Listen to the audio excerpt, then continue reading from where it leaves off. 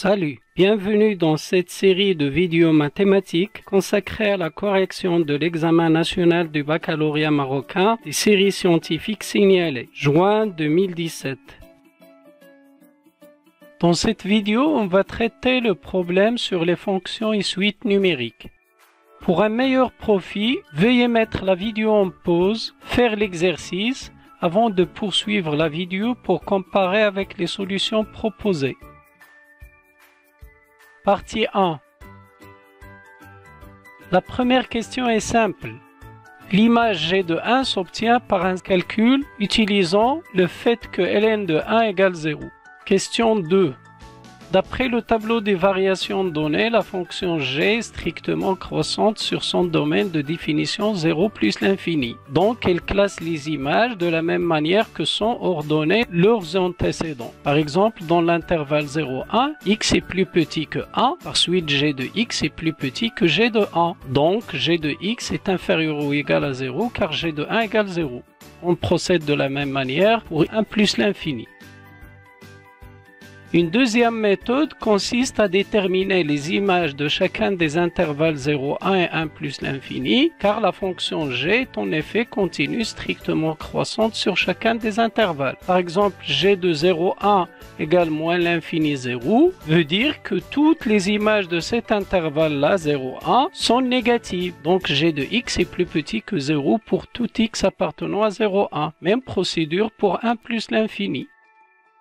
Partie 2, question 1. La limite de f en 0 s'obtient par un calcul direct utilisant des limites classiques et la limite usuelle, limite ln de x quand x tend vers 0 égale moins l'infini. Limite de f de x en 0 égale plus l'infini s'interprète par le fait que la droite d'équation x égale 0 est une asymptote verticale à la courbe c de f.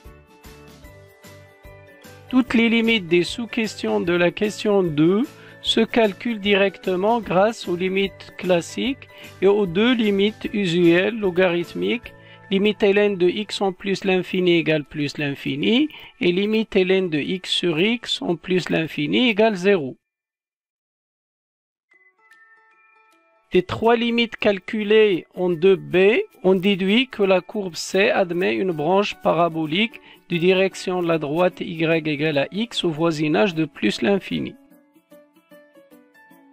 Toujours partie 2, question 3, petit a. On note que f est dérivable sur 0 plus l'infini, puis on calcule sa dérivée f' de x à l'aide des opérations sur les dérivés et certains dérivés usuels comme 1 sur x' égale moins 1 sur x carré et ln de x' égale 1 sur x. On vérifie à la fin que pour tout x supérieur strictement à 0, f' de x égale g de x sur x carré. Question 3b.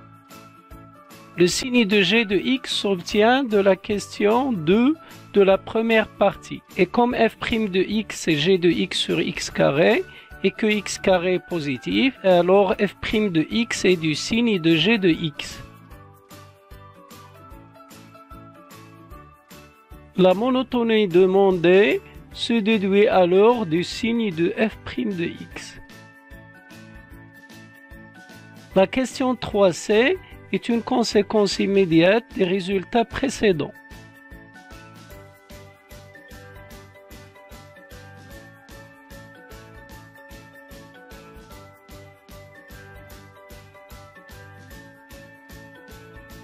Question 4. Petit a.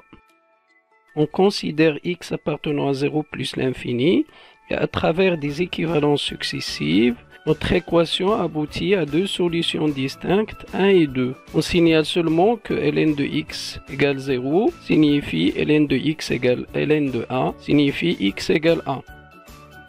Dans la question 4b, pour étudier l'intersection de la courbe C d'équation y égale f de x et la droite D d'équation y égale x, il suffit de résoudre l'équation f de x égale x. Cette équation a été déjà traitée dans la question 4a. On obtient donc deux points d'intersection distincts, A1A et B2, 2. Question 4c. Des implications successives partant de x appartenant à 1, 2 aboutissent sans problème à l'inégalité demandée. L'inégalité f de x inférieur ou égal à x pour tout x appartenant à 1, 2 signifie graphiquement que la courbe C est au-dessous de la droite D sur l'intervalle 1, 2. Question 5.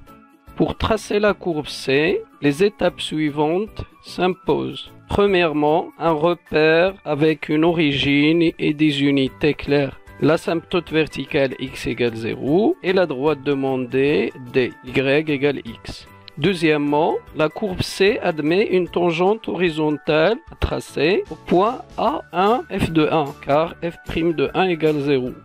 Après, on construit la courbe C en utilisant le tableau des variations, l'asymptote verticale, la branche parabolique au voisinage de plus l'infini, sans oublier la position relative de C avec la droite D et le point d'inflexion donné.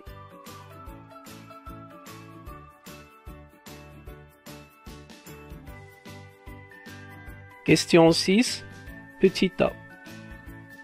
Pour calculer l'intégrale demandée, il suffit de transformer l'expression ln de x sur x en ln de x fois ln de x' afin de retrouver facilement une de ces primitives à travers une formule usuelle.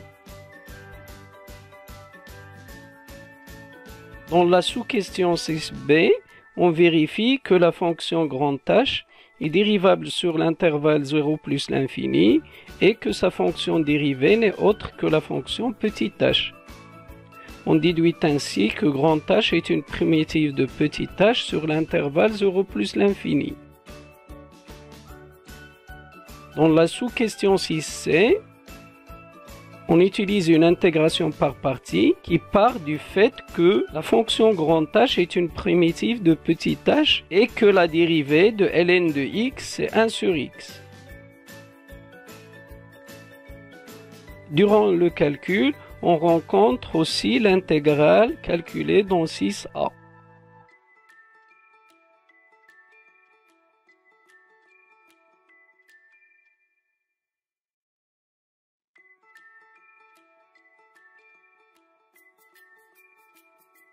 Dans la question 6D, on utilise la formule classique de l'aire d'un domaine délimité par deux courbes et deux droites verticales. La position relative de CD nous permettra d'éliminer la valeur absolue de l'intégrale. Du coup, on retrouve l'intégrale de la question 6C. On conclut la question après avoir calculé l'unité de mesure UA. Partie 3, question 1. Pour montrer que un est compris entre 1 et 2 pour tout n appartenant à n, on utilise une démonstration par récurrence. Étape 1. La propriété est vraie pour n égale 0, car u0 égale racine de 3 et racine de 3 est bien compris entre 1 et 2. Étape 2. Soit n appartenant à n, supposons que un est compris entre 1 et 2 et montrons que un plus 1 est compris entre 1 et 2. Cette inégalité s'obtient facilement en utilisant le fait que notre fonction f est strictement croissante sur 1 plus l'infini. On conclut d'après le principe de récurrence que pour tout n appartenant à n, un est compris entre 1 et 2. Question 2.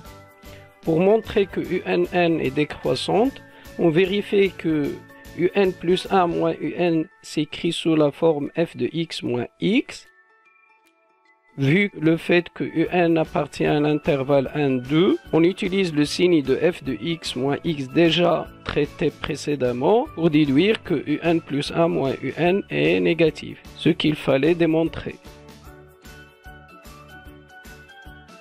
Question 3.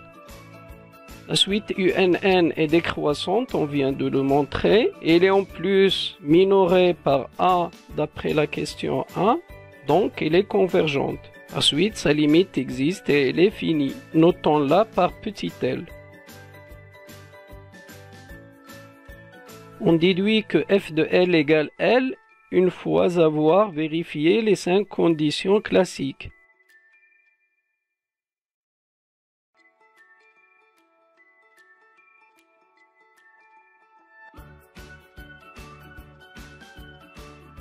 Ainsi, L est une solution de l'équation f de x égale x déjà résolue précédemment. On a donc L égale à 1 ou L égale à 2. Pour trancher, on sait que la suite UNN est décroissante à partir de son premier terme U0 égale racine de 3. Donc tous les termes et par suite sa limite sont inférieurs ou égales à racine de 3. Il n'y a pas de doute, la limite c'est L égale 1.